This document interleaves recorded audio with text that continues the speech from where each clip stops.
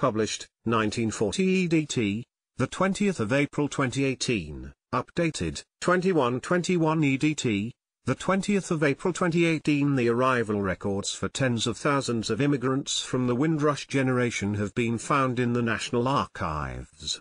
The find strengthen the cases for those trying to prove they are British citizens who were being told they had to leave the UK.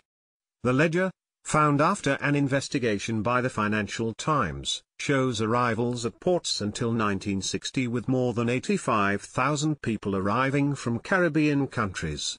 The arrival records for tens of thousands of immigrants from the Windrush generation have been found in the National Archives. The find strengthen the cases for those trying to prove they are British citizens who were being told they had to leave the UK. These include citizens who arrived from the Caribbean on Empire Windrush in 1948. It was the ship's name that would come to define the generation. The information, compiled by the Board of Trade, could prove vital in helping those under threat claim UK citizenship. The Home Office destroyed its cache of landing slips eight years ago, in a bid to update a protection. But the department since rejected applications for UK citizenship because of a lack of evidence to support their arrival date claims.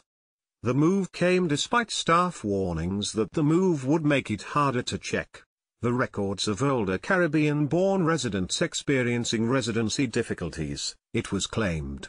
The reveal tie-ins come after Prime Minister Theresa May issued her second grovelling apology in two days to the Caribbean migrants threatened with deportation.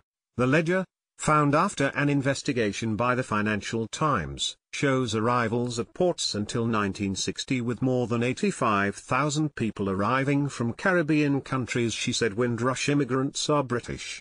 They are part of us and vowed to ensure they can stay in the UK.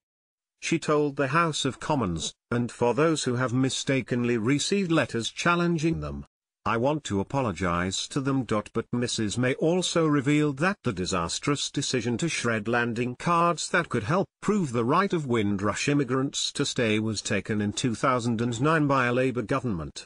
The Home Office destroyed its cache of landing slips eight years ago, in a bid to update a protection but the department since rejected applications for UK citizenship because of a lack of evidence to support their arrival date claims her revelation was met with gasps and shouts from the Tory benches who urged Labour to apologise after they had blamed Mrs May for the destruction of the cards, which happened in 2010 when she was Home Secretary.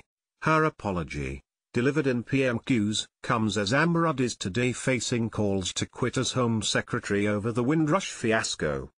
Speaking at the European Parliament in Strasbourg, the MEP said, certainly after the Windrush scandal in Britain, we want to be sure that the same is not happening to our European citizens and that there is no bureaucratic nightmare there.